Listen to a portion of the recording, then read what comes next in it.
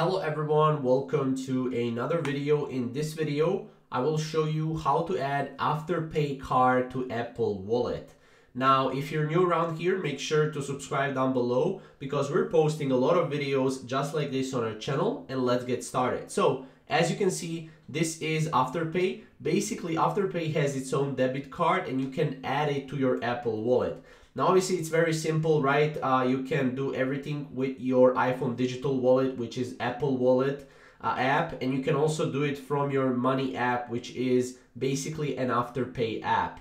So this is very simple to add. So what you want to do is open the Afterpay app. So you need to go to the Afterpay app. You will need to install it.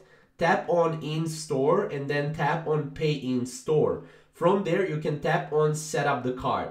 Now from there, you will get a screen where you can add this card to your wallet. So you will be able to add it to your Apple wallet or whatever wallet you have. Probably it's going to be Apple wallet because you're watching this video.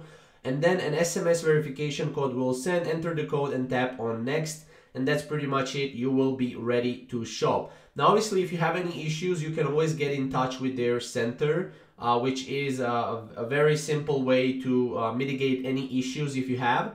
Uh, but yeah, as you can see, it's very, very simple. You can then use it on your iPhone. You can use it with your Apple Watch as well. Open the Watch app on your iPhone and you can tap Watch uh, Wallet and Apple Pay and then add credit or debit card. Or you can do it from your Money app, which is this app right here. So that's pretty much it. Uh, again, if you have any questions or comments, you can comment down below and we will see you in the next video.